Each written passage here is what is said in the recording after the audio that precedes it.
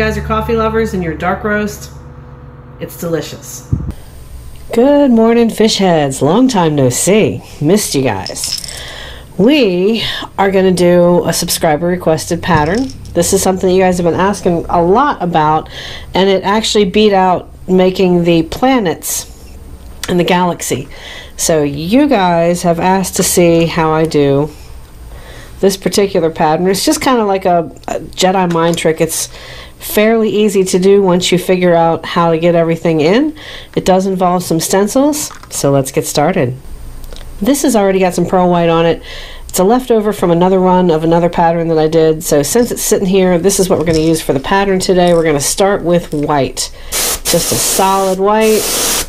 And this is the Jacquard mix. It's got Jacquard uh, opaque white and it also has golden titanium white, which is right there. We're just going to cover it evenly. How have you guys been? Missed you. Lots and lots. I've been traveling. Uh, my mom has finally retired, so I spent some time with her. She's getting ready to move to the mountains, get out of the crowded city of Norfolk. Super excited about that for her. She's not moving to Georgia. I know some of you guys are going to ask. Um, but she's not. She's going to move, I want to say either the southwestern corner of Virginia or right near Sparta, Asheville, North Carolina. So she's always wanted to come to the mountains. She'll be closer to me. She's kind of equidistant between the families now. So she's still got family in Virginia, in Maryland, me here in Georgia, and family in Arkansas. So that's super cool. Very happy, happy retirement mom. We've got this getting happy. I'm going to do a quick heat set off camera, come right back on. Heat set off camera. Now, normally I would go ahead and pull this white out of here, but there's really like maybe two drops left in the bottom of this. And I'm going to be using some opaque fluorescent-y. The fluorescent isn't opaque, it's not really transparent. It's kind of halfway in between in the category of how things look on baits. But this is a fluorescent sunburst from Createx. And that's going to cover the entire bait. We're just going to use a couple little drops here. That should be enough to get it going. And do the entire wake bait. There's not a whole lot of real estate on this. Just make sure you got a good flow. Even strokes, cover the bait. All the way around. Make sure you get the face real well one if you're brand new a lot of you guys already understand the dynamics of how to paint and this is probably just run-of-the-mill everyday ordinary painting for you guys but for those of you that are new to this or are just learning one little trip to learn on these is not to put your helping hands all the way up. So you don't want to sit it like this because you might get a little void in coverage so just kind of pull that down just how that is right there we're going to heat set this pretty quick.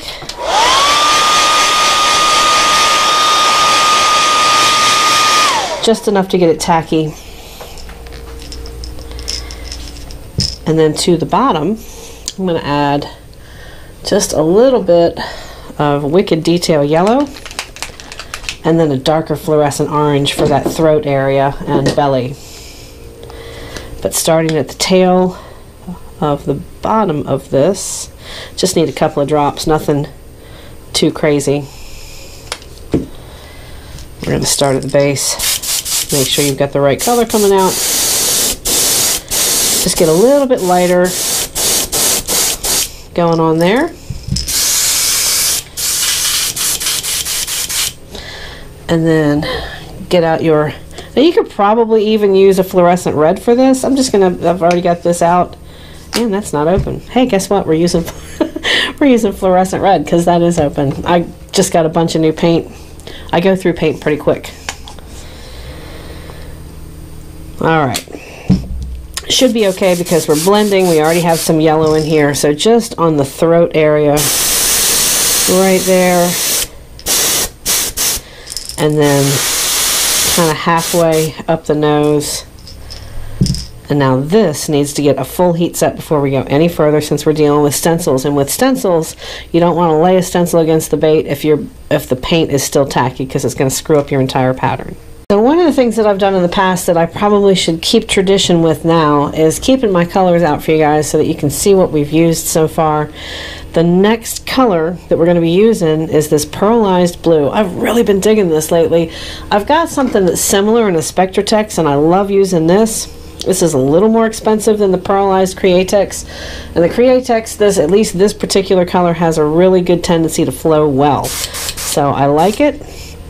I have very minimum issues with the Createx products as long as you're shooting either A, higher PSI, or B, use a little bit of reducer when you're shooting it. A lot of you guys ask me if I have any problems shooting with an Iwata Eclipse. I really don't. I don't know what you guys are using. If you're using maybe Masters, you might have some issues with flow because I believe that their, their chamber is a little bit thinner than some of the other stuff that's out there. Orange and blue are opposites on the color wheel. But that being said, you can still add in blue without having to mask with white first. And it does look okay, which is pretty much what we're going to be doing next. Bringing my pressure down from 30, just shooting solid, to about 15.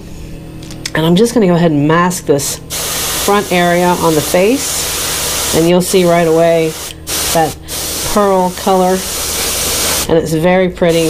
We're going to go ahead and hit the nose a little bit, just a little bit further back, and then come at this from an angle behind so we don't get a lot of overspray pushing towards the back of the bait.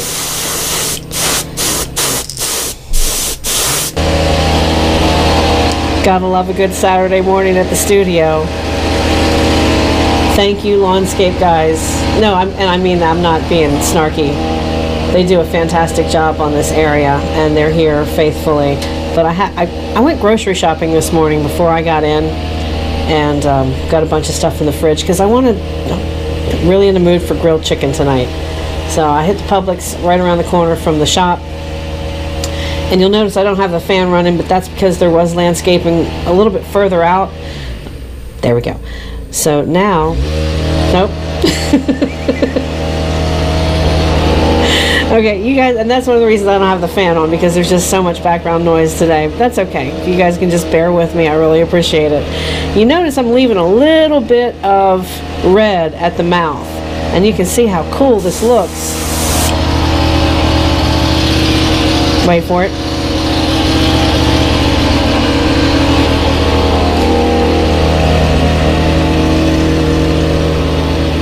Okay, I think you guys can hear me now. You can see how shiny and metallic this looks, and it's not the metallics. It's just a basic pearlized blue. For some reason, the darker the colors, the better off your shine is going to be on pearlized colors with Createx, just the way it is. But we've got that little, almost like a raccoon mask on the face, and we're going to keep that there. And then we're going to get our stencil, because we're going to use the exact same thing on this. So this is, it's Murphy's Law. Um, this is a stencil from Brian Best over at Anarchy Model UK Custom Stencils across the pond in jolly old England. So we're just going to lay this against here with our hand and do one straight out. Come back around and this is one of the reasons I keep so much paper down here. It's just easier. Um, I still have this, but I'm just there's such more volume of paint going on on this bench. Um, almost impossible to keep any kind of decals or anything like that visible. There we go. And we can continue to come down here, do the bottom, and then we're going to go over the top. You always want to make sure that the scales are pointing in the right way. The point should be up here and the scale action should be back. You kind of curve these around. These are real easy to work with. They come on cards that are not cut out. Just for me, I like to cut them out because it seems like I can bend them a little bit easier and move them the way I want, especially with smaller baits, but even with the larger stuff that I'm doing with bull shad. And then we're just going to kind of feather this all the way back. So we just get a nice even layer of this pearlized blue. And I'm going to heat set this and come right back. So the next thing that we're going to do is go back into white. You can see I brought these two colors back out because these are what we used on the belly. Use this yellow detail from uh, from Wicked, same same company. Well, Wicked and Createx are the same parent company, and then a fluorescent red because my fluorescent uh, orange was not opened yet. We have sufficiently cleaned out the airbrush pot here. Make sure we got, you want just white coming back out here. So make sure that you push out whatever, if there was any residual left in here. So on this, we're just gonna flip to the belly. And I'm gonna start by adding white directly to the belly.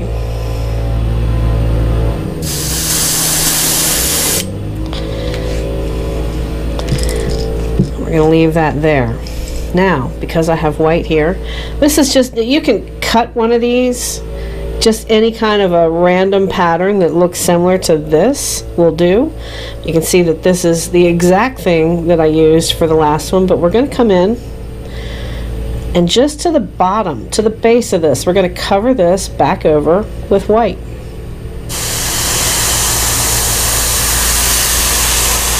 This is where that Jedi mind trick that I was talking about comes into play. You can see the way that looks. It's pretty much covered over the other colors. Opaque white is pretty brilliant in that you can hide a lot of things with it. I'm going to make sure this is not tacky. Flip this over and then do the same thing on the other side. Same pattern. Just make sure you have a clean line going all the way back to the tail. And while we have the white still out you can see that there's a little bit of microdot action going on in the face. So let's go ahead and get that out of the way. I try and use the colors all at once so I don't have to keep going back and changing it out. So that's why I've got the base coats down first. And then we can just come in and give this a little bit of a kiss with the white. And do the same thing on this side, just a little bit here. And a little bit on the cheek here. And then we're pretty much done with white. We've already got the base on the belly. We've got our sides down.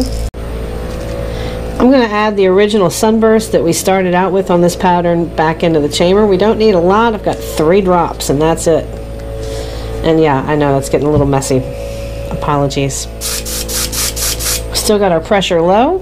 We're going to come back with this. Cool thing about this, and also Russ Allens are as well, you can wash these and get several uses out of them. Um, I've been using this one for probably a year. So these things are durable, they hold up, they're worth their weight in gold. If you're going to be doing any sort of stenciling or repetition in your patterns, now we're going to come back in with our orange. This is what gives it, this is that Jedi mind trick, which it's really not, but this is a neat little deal. And then make sure we get the cheeks just a little bit. And now you have the opposing colors in the scaling. Flip this over make sure your stencil is in the right direction. Come back and do the same thing on the other side. You don't even really have to be careful because that color is already there, so it's not going to look out of place if you go over it a little bit more than intended, which is why I like this particular style and pattern. Now you have everything going on. You've got your scaling, two-tone in the blue and the sunburst orange. You've got white underneath of it. You've got white scaling on the belly. now we just need to get the little ear flap going on, some eyes on it, and dip-de-dee-doo in some KBS. Got a couple of different ones going on here. This is the one I normally use. It's a cool little ear flap and it's a hand cut stencil that I've done myself. It's got a little bit of glitter on it from other things, other projects and patterns that I've been doing. So we're going to just kind of wipe this dry and flip it to make sure it goes on well. Get a little black, just a couple of drops will do because really don't need much black at all for the ear flaps maybe two or three drops in here. Keep your pressure low.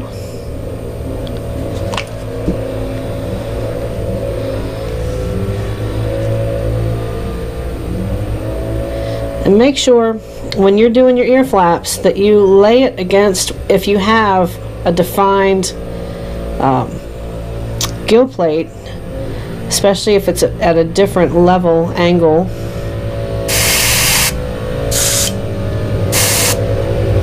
There we go. Come back to the other side. Find that defining line. And lay down the other side. The next part of this is fairly easy. Get yourself either a zero or some other like double zero is good that might be a little bit thick for this one try and find a very thin round brush. And you really don't even need to drip anything out of this. Just give the white a little shake. Open the top up. Grab a drop. And that's if you want to put the mask on. Some folks don't. But if you do, you want that little white collar around the ear flap. I normally hold it just steady, put my finger here, and then just build that white collar around this ear flap.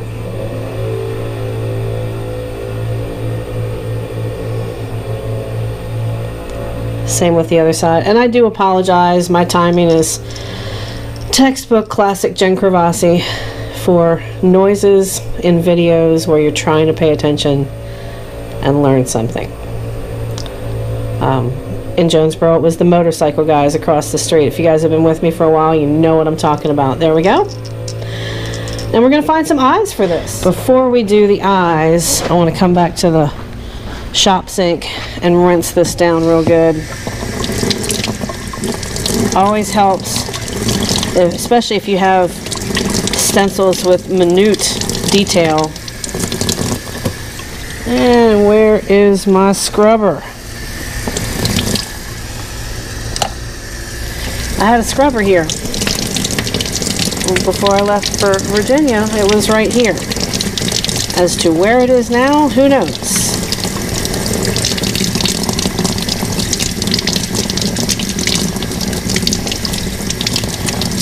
But the whole purpose of this is just to get any paint out from the stencil as best you can. And then just let that Should dry. Be good to go if it gets a little squirrely, meaning the white paint, if it's too thick for you guys, you can get one of these uniballs or whatever it is you guys use to... I made it this far in a video, yes I know, without saying Uniball Vision Elite. It's amazing. But you can just reline this with your black marker, your black your black ink. The, the key is it needs to be acrylic ink, acrylic based ink. It can be water based, Alcohol based is fine, although got to be careful what you clear coat with if you're using a lot of alcohol based inks. Make sure it doesn't smear it or blow it out. Um, some of them will, so be careful with that. But on this, we're just going to use regular old plain gold eyes. Very simple on this pattern. And I think gold eyes complement pretty well.